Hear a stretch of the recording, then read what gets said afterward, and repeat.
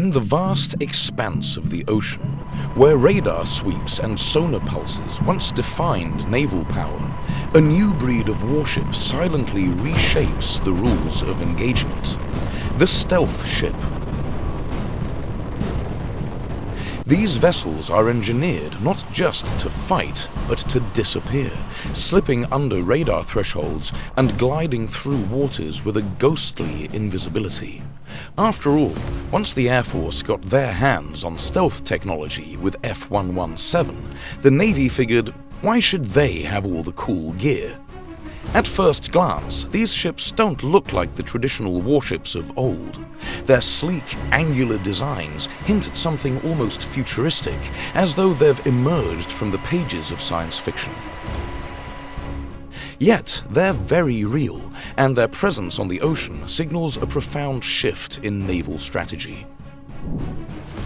The journey toward the first operational stealth ship began during the Cold War, as naval strategists recognized the need for a warship that could evade radar detection and reduce its vulnerability to guided missiles. This led to the development of the Sea Shadow, an experimental vessel built in secret by Lockheed Martin for the US Navy in the 1980s. The Sea Shadow featured a sharp angular hull and a catamaran structure to minimize its radar cross-section. Its design echoed the principles of the Air Force's stealth aircraft, like the F-117 Nighthawk, with surfaces crafted to deflect radar waves rather than reflect them. Sea Shadow was never meant to enter active service. Instead, it served as a test platform to explore stealth applications on water.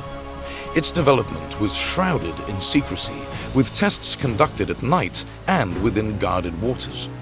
When the Sea Shadow's existence became public in the early 1990s, it sparked global interest in naval stealth technology. Though Sea Shadow was ultimately scrapped, its design paved the way for modern stealth ships. In the early 2000s, the US Navy identified a need for agile, multi-mission ships capable of operating in coastal waters. This led to the Littoral Combat Ship program, which produced two distinct classes the monohull Freedom variant and the trimaran-hulled Independence variant.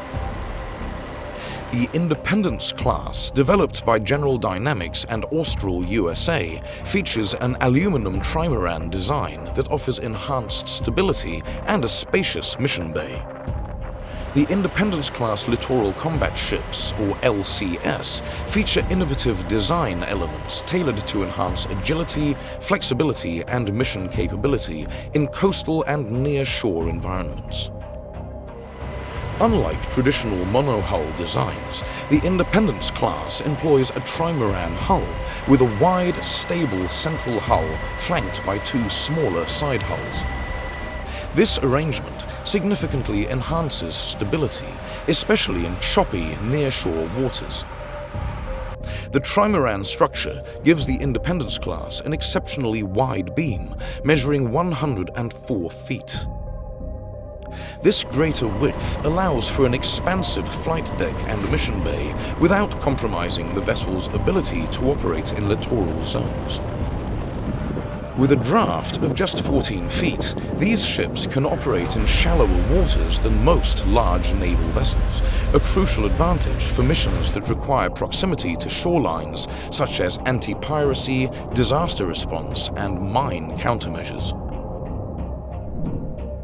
The Independence class has one of the largest flight decks of any warship of its size, spanning over 1,000 square meters.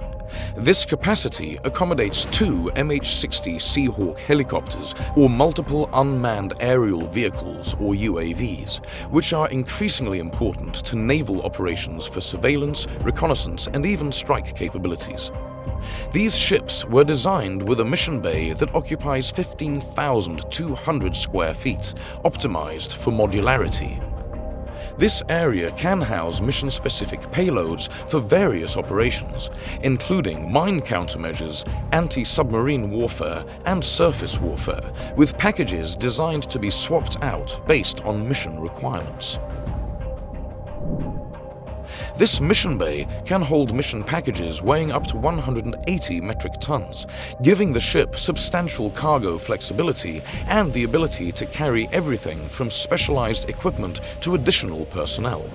This ship is fast for its bulk. The Independence class employs a hybrid propulsion system, combining diesel and gas turbine engines, allowing for both high-speed sprints and efficient cruising. The ship can reach speeds of up to 44 knots, or approximately 50 miles per hour, which is particularly valuable for rapid response and pursuit in littoral zones. Four steerable water jets power the vessel, providing a high degree of maneuverability. This propulsion choice not only allows the ship to make tight turns, but also minimizes the risk of entangling with underwater obstacles or mines, a common hazard in shallow coastal waters. These are all good, but the real speciality of these ships are their stealth capabilities. The Independence-class littoral combat ships incorporate multiple stealth features designed to reduce their visibility to radar, infrared and acoustic detection, enhancing their survivability in contested environments. The ship's superstructure and hull are built with angled surfaces that help deflect radar waves away from the source rather than back toward it. By reflecting radar waves in multiple directions, the ship minimizes its radar cross-section, or RCS, making it harder to detect by radar systems. Unlike traditional ships with various protruding parts, like masts and sensors, the Independence class has a more streamlined, integrated structure where equipment and sensors are carefully placed to maintain a smooth, clean profile. This reduces radar clutter and the number of distinct points that could reflect radar signals. The ship's structure includes radar-absorbent materials, or RAM, that can absorb some of the radar energy hitting it, further lowering its RCS. RAM coatings are often used on specific areas of the vessel, such as around the superstructure and along the edges of panels where radar waves are most likely to reflect. Naval vessels often emit heat from engines, exhausts and other equipment, creating an infrared signature that can be detected by infrared sensors. The Independence class incorporates heat management systems designed to dissipate and control heat emission from its engines and exhaust systems. The ship's exhaust systems are designed to redirect hot gases and cool them before they exit the vessel. By cooling and dispersing the exhaust over a wider area or channeling it into the water in some naval vessels, the ship reduces its infrared profile, making it harder for infrared-seeking missiles to lock on. Special coatings on the ship's exterior help to minimize heat absorption from sunlight. These coatings can reduce the ship's overall temperature, thereby lowering its infrared signature in warmer environments. As we have mentioned a few minutes ago, the Independence-class ships use a water jet propulsion system instead of traditional propellers. Water jets create less noise than propellers, as they don't produce the cavitation bubbles that are common with propeller-driven systems. This quieter operation makes the ship less detectable by sonar, especially by submarines that rely on underwater acoustic tracking. The ship's machinery and other noise-producing components are installed on vibration-dampening mounts, which minimize the transfer of mechanical noise to the hull and the surrounding water. By reducing these vibrations, the ship lessens its acoustic signature, making it harder for underwater detection systems to identify its presence. The trimaran hull design not only provides stability, but also minimizes drag in the water, reducing the turbulence created by the ship's movement. This further limits the noise generated while the vessel is underway. The Independence-class ships are equipped with systems that allow them to control their electronic emissions. This means the ship can reduce or disable active transmissions, such as radar or radio communications, when necessary, relying on passive systems to detect other vessels while remaining less detectable. EMCON can significantly decrease the ship's visibility to enemy electronic surveillance systems.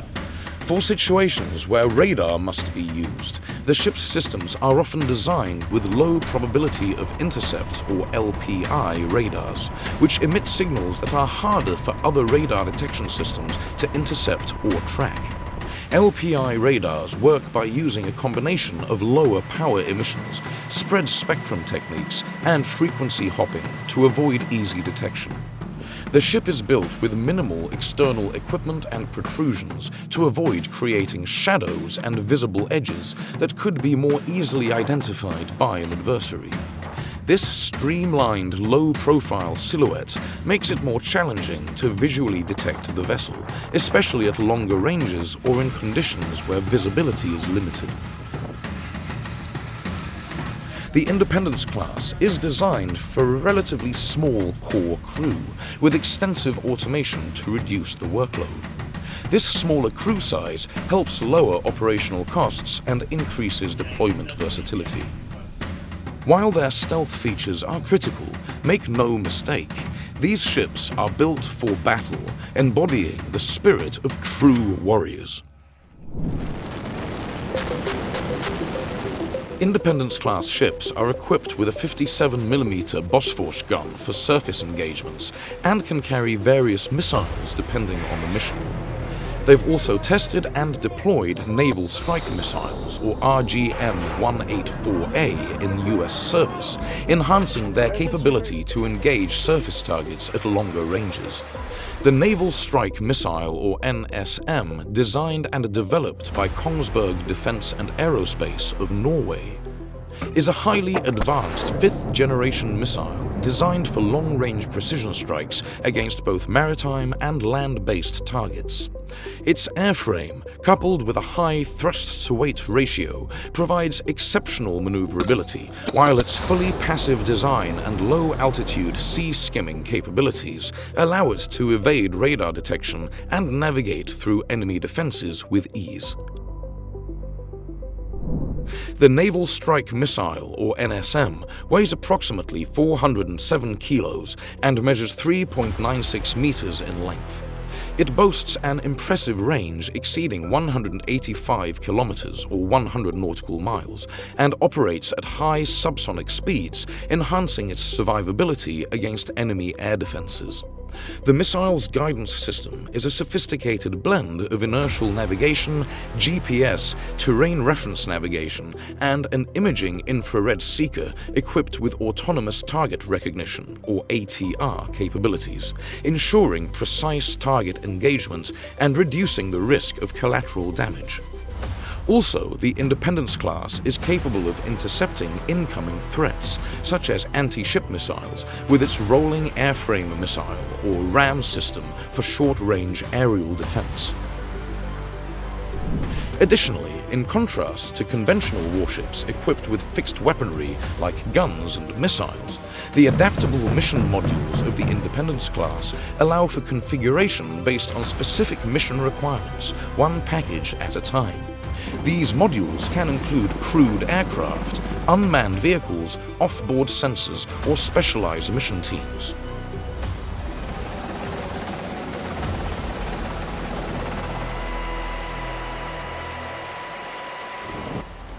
This concludes our episode that provides a glimpse into the stealth Independence class littoral combat ships of the US Navy. So what do you think about these remarkable ships? What other pieces of military hardware would you like us to cover in our future episodes? Also, if you were lucky enough to see these ships up close, or better yet, served in one, please comment.